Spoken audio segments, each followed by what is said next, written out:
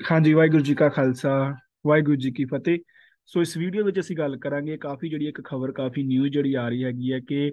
2500 dollar ਦੇ ਕੇ ਤੁਸੀਂ ਆਪਣੀਆਂ ਗ੍ਰੀਨ ਕਾਰਡ ਜਾਂ ਫਿਰ ਵਰਕ ਪਰਮਿਟ ਦੀ ਐਪਲੀਕੇਸ਼ਨਾਂ ਨੂੰ 45 ਦਿਨਾਂ ਦੇ ਵਿੱਚ ਪ੍ਰੋਸੈਸ ਕਰਾ ਸਕਦੇ ਹੋ। ਸੋ ਯੂਐਸਸੀਆਈਐਸ ਇਹ ਜਿਹੜੀ ਸਰਵਿਸ ਜਿਹੜੀ ਹੈਗੀ ਹੈ, ਕਿਹੜੇ ਗ੍ਰੀਨ ਕਾਰਡ ਤੇ ਵਰਕ ਪਰਮਿਟ ਦੀਆਂ ਐਪਲੀਕੇਸ਼ਨਾਂ ਦੇ ਵਾਸਤੇ ਸ਼ੁਰੂ ਕਰਨ ਜਾ ਰਹੀ ਹੈ ਅਤੇ ਕਦੋਂ ਤੋਂ ਸ਼ੁਰੂ ਕਰਨ ਜਾ ਰਹੀ ਹੈ, ਉਹਦੇ ਬਾਰੇ ਅਸੀਂ ਅੱਗੇ ਗੱਲ ਕਰਦੇ ਹਾਂ।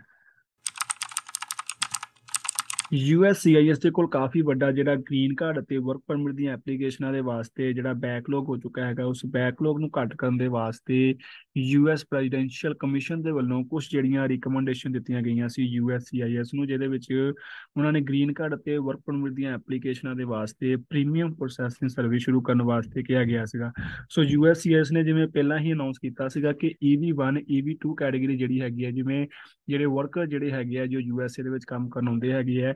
E13 ਅਤੇ E21 ਪਟੀਸ਼ਨਾਂ ਜਿਹੜੀਆਂ ਹੈਗੀਆਂ, ਜੋ ਕਿ EV1 EV2 ਕੈਟਾਗਰੀ ਦੇ ਵਿੱਚ ਆ ਜਾਂਦੀਆਂ ਹੈਗੀਆਂ। ਇਹਨਾਂ ਦੀਆਂ ਪੈਂਡਿੰਗ ਜਿਨ੍ਹਾਂ ਦੀਆਂ ਵੀ ਐਪਲੀਕੇਸ਼ਨਾਂ ਸੀ ਉਹਨਾਂ ਵਾਸਤੇ ਤਾਂ ਇਹਨਾਂ ਨੇ ਪ੍ਰੀਮੀਅਮ ਪ੍ਰੋਸੈਸਿੰਗ ਸਰਵਿਸ ਪਹਿਲਾਂ ਤੋਂ ਹੀ ਸ਼ੁਰੂ ਕੀਤੀ ਹੋਈ ਹੈ। ਪਰ 30 ਜਨਵਰੀ ਤੋਂ ਜਿਹੜੇ ਲੋਕ ਵੀ EV1 EV2 ਕੈਟਾਗਰੀ ਦੇ ਰਾਹੀਂ ਨਵੀਆਂ ਐਪਲੀਕੇਸ਼ਨਾਂ ਭਰਨਗੇ E13 ਮਲਟੀਨੈਸ਼ਨਲ ਐਗਜ਼ੀਕਿਊਟਿਵ ਅਤੇ ਮੈਨੇਜਰ ਦੀ ਪਟੀਸ਼ਨ ਉਸ ਤੋਂ ਇਲਾਵਾ E21 ਪਟੀਸ਼ਨ ਜਿਹੜੇ ਲੋਕ ਭਰਨਗੇ, ਜੋ ਕਿ EV1 EV2 ਕੈਟਾਗਰੀ ਦੇ ਵਿੱਚ ਆਉਂਦੀ ਹੈਗੀ ਹੈ। ਇਹਦੇ ਵਾਸਤੇ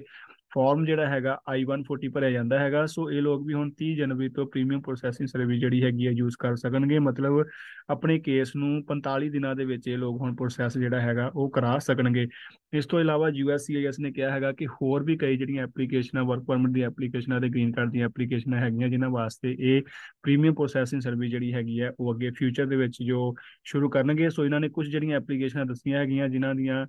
ਪ੍ਰੀਮੀਅਮ ਪ੍ਰੋਸੈਸਿੰਗ ਸਰਵਿਸ ਜਿਨ੍ਹਾਂ ਵਾਸਤੇ ਇਹ ਸ਼ੁਰੂ ਕਰਨਗੇ ਜਿਨ੍ਹਾਂ ਵਿੱਚੋਂ ਸਟੂਡੈਂਟ ਬੇਸ ਵਰਕ ਪਰਮਿਟ ਜਿਨ੍ਹਾਂ ਨੇ ਅਪਲਾਈ ਕੀਤੇ ਹੈਗੇ ਆ F1 OPT ਕੈਟਾਗਰੀ ਦੇ ਰਾਹੀਂ ਜਿਨ੍ਹਾਂ ਦੀਆਂ ਐਪਲੀਕੇਸ਼ਨਾਂ ਪੈਂਡਿੰਗ ਜਿਹੜੀਆਂ ਹੈਗੀਆਂ ਵਰਕ ਪਰਮਿਟ ਦੀਆਂ ਉਹ ਲੋਕ ਹੁਣ ਮਾਰਚ ਦੇ ਮਹੀਨੇ ਦੇ ਵਿੱਚ ਪ੍ਰੀਮੀਅਮ ਪ੍ਰੋਸੈਸਿੰਗ ਸਰਵਿਸ ਲੈ ਸਕਣਗੇ। ਇਸ ਤੋਂ ਇਲਾਵਾ ਅਪ੍ਰੈਲ ਦੇ ਮਹੀਨੇ ਦੇ ਵਿੱਚ USCIS ਜਿਹੜੇ ਲੋਕ ਵੀ F1 OPT ਕੈਟਾਗਰੀ ਦੇ ਰਾਹੀਂ ਵਰਕ ਪਰਮਿਟ ਅਪਲਾਈ ਕਰਨਗੇ, ਨਵੇਂ ਵਰਕ ਪਰਮਿਟ ਅਪਲਾਈ ਕਰਨਗੇ, ਉਹ ਲੋਕ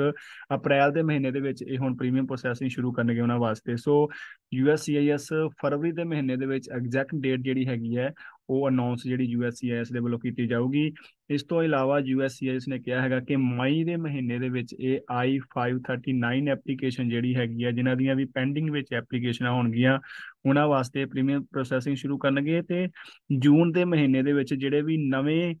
ਫਾਰਮ ਭਰਨਗੇ I539 ਐਪਲੀਕੇਸ਼ਨਾਂ ਜਿਹੜੀਆਂ ਲੋਕ ਨਵੇਂ ਐਪਲੀਕੇਸ਼ਨਾਂ ਭਰਨਗੇ, ਉਹਨਾਂ ਵਾਸਤੇ ਜੂਨ ਦੇ ਮਹੀਨੇ ਦੇ ਵਿੱਚ ਪ੍ਰੀਮੀਅਮ ਪ੍ਰੋਸੈਸਿੰਗ ਸਰਵਿਸ ਜਿਹੜੀ ਹੈਗੀ ਹੈ, ਉਹ ਸ਼ੁਰੂ ਕੀਤੀ ਜਾਊਗੀ। ਸੋ ਯੂਐਸਸੀਆਈਐਸ ਹੁਣ ਹੌਲੀ-ਹੌਲੀ ਦੂਸਰੀਆਂ ਜਿਹੜੀਆਂ ਗ੍ਰੀਨ ਕਾਰਡ ਅਤੇ ਵਰਕ ਪਰਮਿਟ ਦੀਆਂ ਜਿਹੜੀਆਂ ਐਪਲੀਕੇਸ਼ਨਾਂ ਜਿਹੜੀਆਂ ਹੈਗੀਆਂ, ਉਹਨਾਂ ਵਾਸਤੇ ਵੀ ਇਹ ਪ੍ਰੀਮੀਅਮ ਸਰਵਿਸ ਜਿਹੜੀ ਹੈਗੀ ਆ ਉਹ ਸ਼ੁਰੂ ਕਰਨ ਜਾ ਰਹੇ ਹੈਗੇ ਆ। ਸੋ ਪ੍ਰੀਮੀਅਮ ਸਰਵਿਸ ਦੇ ਵਾਸਤੇ ਤੁਹਾਨੂੰ ਪਤਾ ਹੀ ਹੈਗਾ 45 ਦਿਨਾਂ ਦਾ ਟਾਈਮ ਹੈਗਾ ਤੇ ਵੀ ਫੀਸ ਜਿਹੜੀ ਹੈਗੀ ਆ 2500 ਡਾਲਰ ਤੱਕ ਹੋਗੀ ਮਤਲਬ ਇਹ 2500 ਡਾਲਰ ਜਿਹੜਾ ਤੁਸੀਂ ਐਕਸਟਰਾ ਪੇ ਕਰਕੇ ਬੜੀਆਂ ਐਪਲੀਕੇਸ਼ਨਾਂ ਨੂੰ ਜੋ ਫਾਸਟ ਜਿਹੜਾ ਹੈਗਾ ਪ੍ਰੋਸੈਸ ਕਰਾ ਸਕੋਗੇ। ਬਾਕੀ ਤੁਹਾਡੀ ਜਾਣਕਾਰੀ ਵਾਸਤੇ ਦੱਸ ਦਈਏ ਯੂਐਸ ਪ੍ਰੈਜ਼ੀਡੈਂਸ਼ੀਅਲ ਕਮਿਸ਼ਨ ਦੇ ਵੱਲੋਂ ਫੈਮਿਲੀ ਬੇਸ ਕੈਟਾਗਰੀ ਜਿਹੜੀ ਹੈਗੀ ਆ ਫੈਮਿਲੀ ਬੇਸ ਗ੍ਰੀਨ ਕਾਰਡ ਦੀਆਂ ਐਪਲੀਕੇਸ਼ਨਾਂ ਜਿਹੜੀਆਂ ਹੈਗੀਆਂ, ਉਹਨਾਂ ਨੂੰ ਵੀ ਪ੍ਰੀਮੀਅਮ ਪ੍ਰੋਸੈਸਿੰਗ ਸਰਵਿਸ ਚਲਾਉਣ ਵਾਸਤੇ, ਉਹਨਾਂ ਵਾਸਤੇ ਵੀ ਇਹ ਸਰਵਿਸ ਲਾਗੂ ਕਰਨ ਦੇ ਵਾਸਤੇ ਕਿਹਾ ਗਿਆ ਹੈਗਾ। ਸੋ ਦੇਖਦੇ ਆਉਣ ਵਾਲੇ ਦਿਨਾਂ ਦੇ ਵਿੱਚ ਦੂਸਰੇ ਜਿਹੜੇ ਗ੍ਰੀਨ ਕਾਰਡ ਦੀਆਂ ਐਪਲੀਕੇਸ਼ਨਾਂ ਜਾਂ ਵਰਕ ਪਰਮਿਟ ਦੀਆਂ ਐਪਲੀਕੇਸ਼ਨਾਂ ਹੈਗੀਆਂ, ਉਹਨਾਂ ਵਾਸਤੇ ਕਦੋਂ ਤੋਂ ਯੂਐਸਸੀਆਈਐਸ ਇਹ ਸਰਵਿਸ ਸ਼ੁਰੂ ਕਰਨਗੇ, ਇਹ ਆਉਣ ਵਾਲੇ ਦਿਨਾਂ ਵਿੱਚ ਪਤਾ ਲੱਗੂਗਾ, ਜਿਹਦੇ ਬਾਰੇ ਲਗਾਤਾਰ ਅਸੀਂ ਤੁਹਾਨੂੰ ਅਪਡੇਟ ਦਿੰਦੇ ਰਵਾਂਗੇ। ਸੋ ਅੱਜ ਵਾਸਤੇ ਇੰਨਾ ਹੀ ਵੀਡੀਓ ਨੂੰ ਲਾਈਕ ਤੇ ਸ਼ੇਅਰ ਜ਼ਰੂਰ ਕਰਿਓ। ਵਾਹਿਗੁਰੂ ਜੀ ਕਾ ਖਾਲਸਾ, ਵਾਹਿਗੁਰੂ ਜੀ ਕੀ ਫਤਿਹ।